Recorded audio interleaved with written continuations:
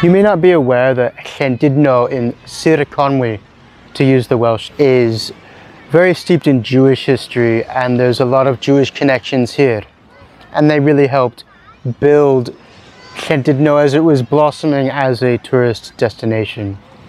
I hesitated to make this video due to my own connections with Judaism and my being a non-Jew who's moved toward Judaism. There's a dog. and so in this video I'm going to walk around Llandudno and show you some of the historical sites connected to Jewish people here. I would like to take this opportunity before we begin to thank a couple people. Dr. Nathan Abrams, who's done a lot of work on Jewish heritage in Gogledd Cymru, North Wales. And also the Jewish Heritage Center, I think it is. I'll put a link down below and I'll put the name here to give proper credit for that. Without that group and him, I don't think, well, I wouldn't have been able to make this video and I just want to give credit for the photos as well. Just a bit of understanding where we are in context.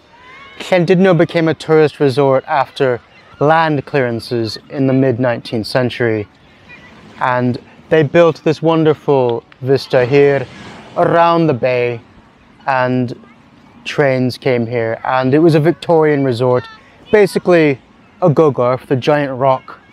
Some Victorians decided we're going to do everything we can do on this giant rock.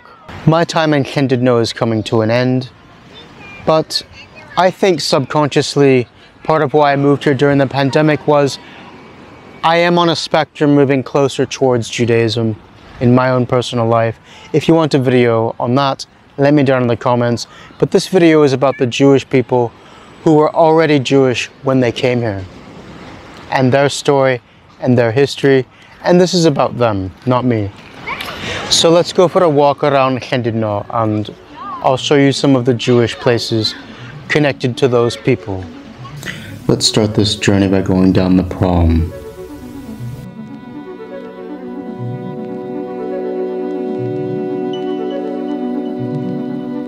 Over the years there have been several, quite a few kosher gwestai, that's Welsh for a hotel or accommodation. And in the 19th century, as anti-Semitism grew in Europe, a lot of Jews went to places like Manchester and Liverpool. And on holiday, they would come here to the new, it was quite new in the period, Llandudno tourist resort.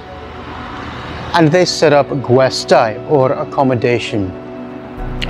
The first of those was in 1872 by a man named Joseph Aaron. And it would have been along here somewhere, I'm not sure where Two Neville Crescent is exactly.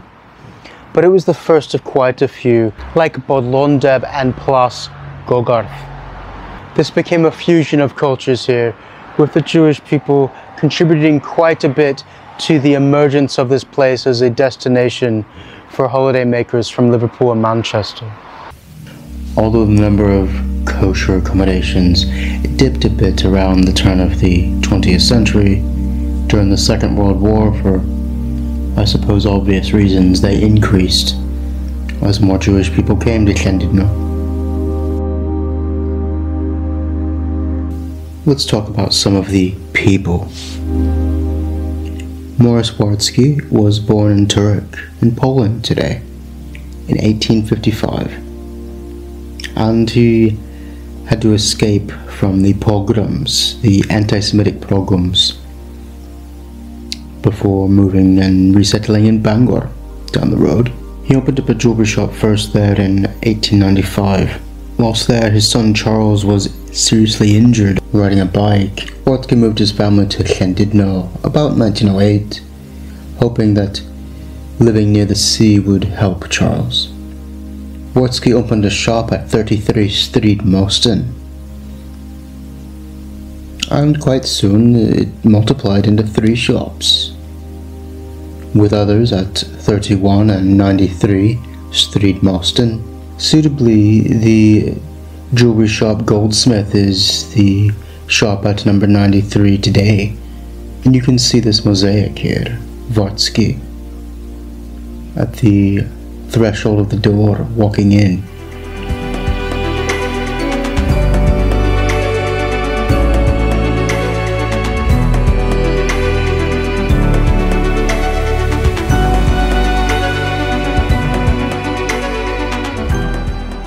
Another prominent Jew in Llandudno was Emanuel Snowman. He was born in London in 1886 he became a remarkably successful businessman and he was also mayor for Hampstead. And although he was only 20, he started a relationship with Harriet, the daughter of Morris Wartski, we just spoke about. The couple married in the Llandudno synagogue on the 19th of October 1909. Reports were published about the marriage in the national press, as well as local papers, and a quite substantial number of Jews came here from across Britain by invitation only, and a feast for 400 people. Not bad. So much was the call for others to see the marriage. About a thousand people stood outside the synagogue to line the streets. Afterwards, the couple moved to London and opened up a branch of Wartski's on Regent Street. Later, he developed business in York, where some of the wealthy and famous of the day, like Jackie Onassis, Cary Grant, and Bing Crosby, shot. Let's talk about Yusuf Dubai and his family. He was an Iraqi born Jew, and he arrived with his family around 1918 and he took over the Oriental store at 9 Street Mostyn. The tiles on the floor still say Oriental Stores, as well as you can see advertisements above the entrance.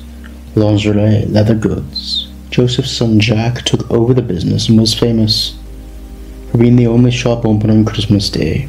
Jack had a brother called Robin who was quite a character and ran Robin's Cafe at 6th Street Mostyn for many years where the arcade is now, just over the street. He would stand outside the cafe lunch hour, shouting out the menu to women.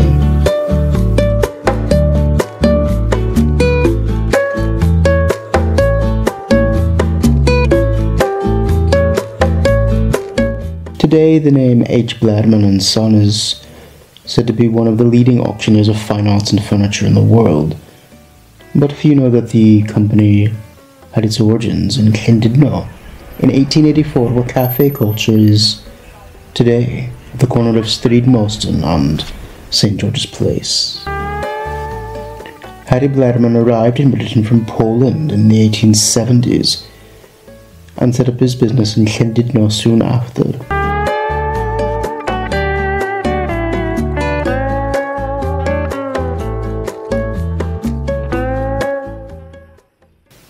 Take advantage of the tourist industry during the summer months, Blair held auctions in a building at the end of the pier.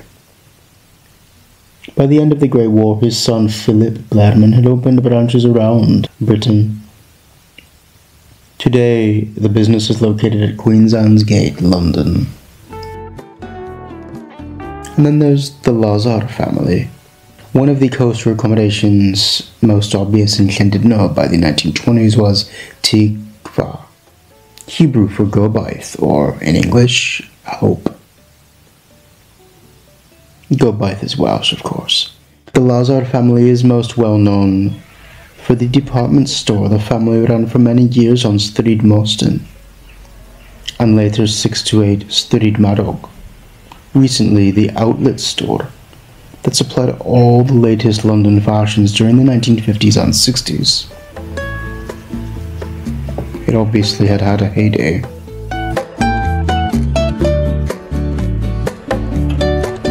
The Krupp family was another Jewish family, and Solomon Krupp, born in Russia in 1882, escaped from troubles there, arrived in Llandudno by 1902. Together with Morris Wartski, Krupp was pioneering in establishing the synagogue in Llandudno 1909, which we'll get to in a moment. In 1922, Solomon decided to change the name of his surname to Krupp to avoid anti-German feelings of the period. After the death of his wife, his first wife, by serious illness, he remarried several years later and established a famous local business of the name Progressive Furniture Business in Craig-y-Don, quite a bit down from the main prom.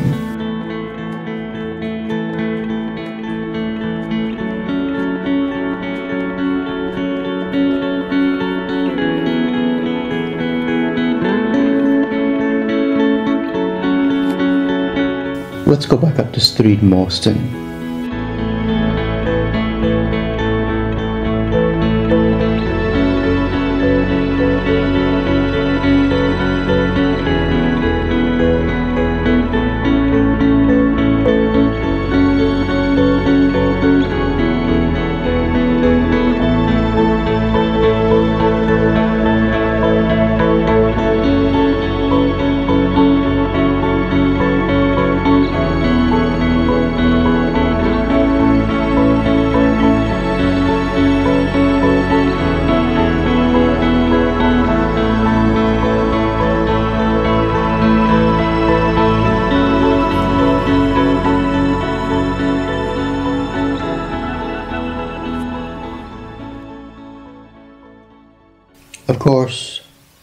having Jews in this area, you would need a synagogue, and I've had brief mention of that before here, but let's go into a bit further detail about that.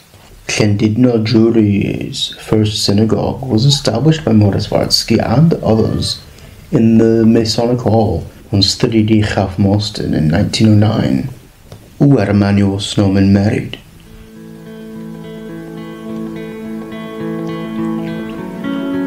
During the Second World War, the congregation increased quite a bit, with Jews who were escaping the bombing in large cities moving to the town.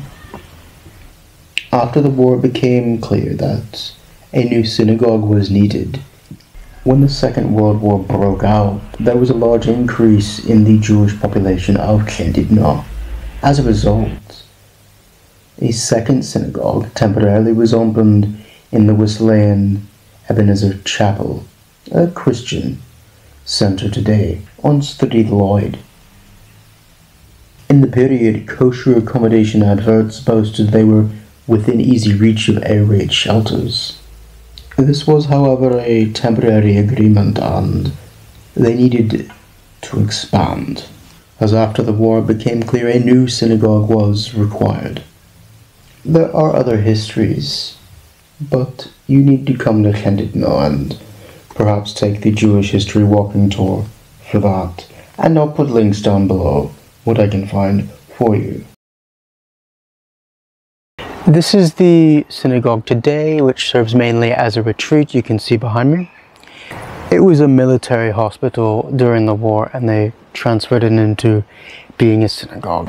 After the Second World War, the community here was quite substantial and there needed to be something more substantial. So this house behind me, Red Court, became the new synagogue in 1948.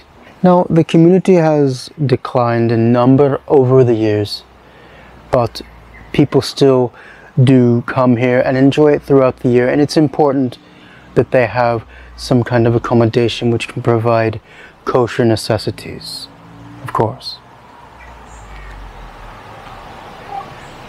And it's mainly for the Ashkenazi community, so I'm not going to go up and knock on the door, be a bit impolite. I think for me, just beginning my own Jewish journey, have not in any sense converted, not knowing exactly where I'm going to go on that spectrum yet. But I just wanted you to see it and know that it's active today. You have visitors throughout the year, mainly in the summer, which come here from a Jewish background and providing needs for their faith, which is important, I think, in our area of Conwy, in Cymru, Wales, so that people can have that and experience that in Llandudno and be in touch with the history that is active still today here.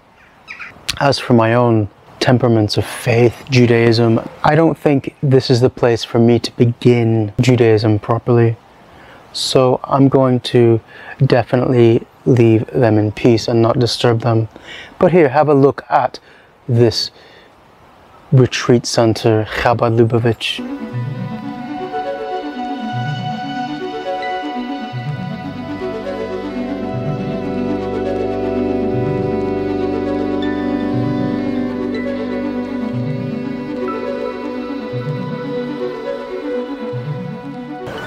Hope you enjoyed seeing a bit of Llandudno's Jewish history and a bit of, well, how beautiful this place is. If you want to find out more about the local area, I'll give you some links down below.